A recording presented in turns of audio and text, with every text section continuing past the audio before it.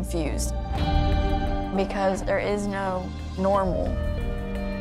There is no normal in teenage years.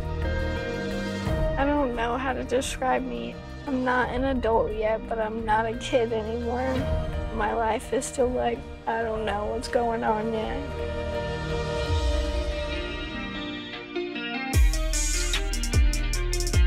Brittney, how old are you? 15. I told him my age. He was like, age doesn't matter, it's just a number. But I'm very wise and my head's not up my ass. I literally feel like my heart just got ripped out of my chest. My mom, she was like, I just want to ask, do you need to go on birth control? And I just laughed about it. You can't hang out with other people and then expect them not to do anything.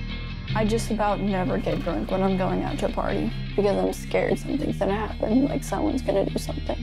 You can always tell somebody no. They're still gonna do it. Girls are scared to say no. Why?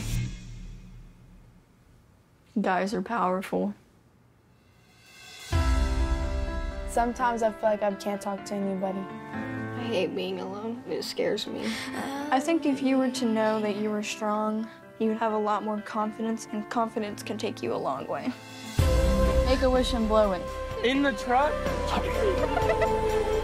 Holy pop!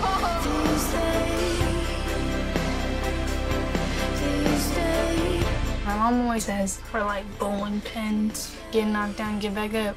I don't want people to think I'm easy to run over.